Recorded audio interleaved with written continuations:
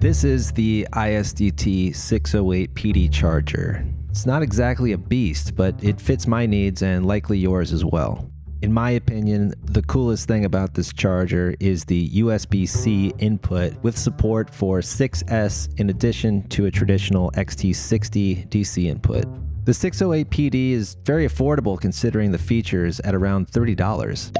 ISDT released a 4S 6 amp charger last year, the PD60. That also featured a 6 amp USB C input, but no XT60 DC input. Previously, RC chargers required a relatively large and heavy power supply. Now we can use something much, much more compact, like this Anker 67 watt USB C supply. If you travel with FPV gear, this really lightens your load. The 608 PD can accept up to 140 watts via USB C and 240 watts DC. Now, don't be a weirdo and keep this uh, packaging plastic on. You know who you are.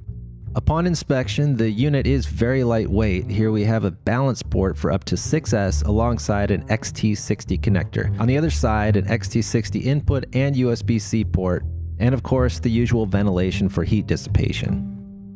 The 608 PD automatically detects the maximum wattage for the adapter you're using.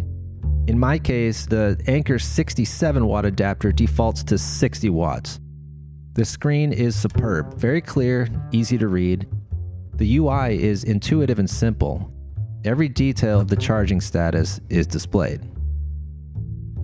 An additional feature we can all appreciate is the ability to send power back through the charger through the bidirectional USB-C connection.